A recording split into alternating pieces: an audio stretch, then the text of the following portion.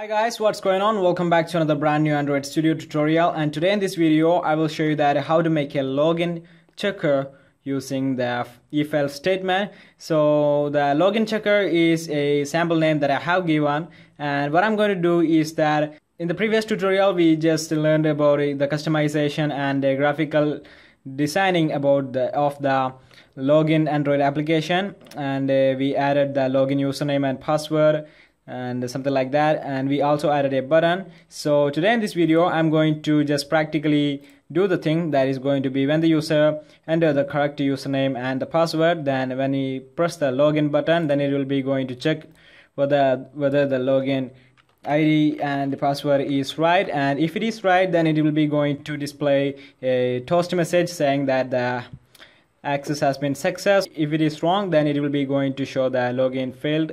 So in the android studio i have a sample project and uh, inside the activity underscore main.xml we have the two edit text and a button.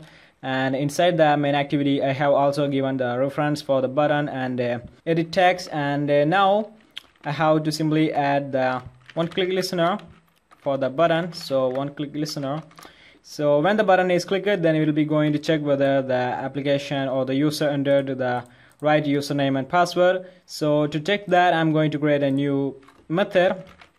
So private void. I want to name it as check login. Okay so we have to get the text from the two edit text and check whether the username and password is same. So the edit text is username and uh, user pass and inside the method I'm going to create a new if else statement. So I'm getting the text from the first edit text that is going to be username. So I just brought the text from the edit text into the string.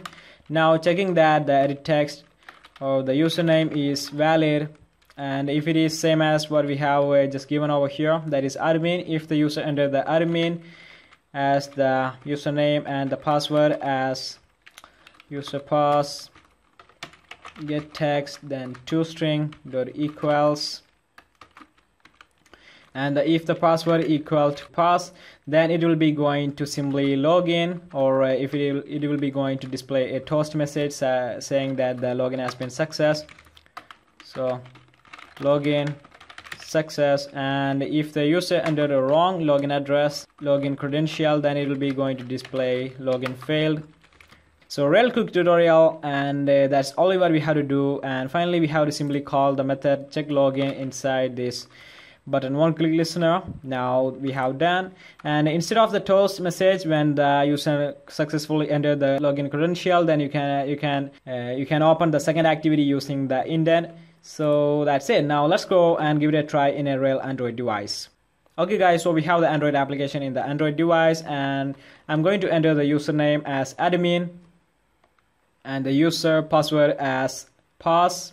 And once that done i'm going to click the login button and blam you can see the login success message is here and uh, that means we are done. And uh, yeah that's it. So if you like this video then give it a big thumbs up. As always thanks for watching and i hope to see you in my next video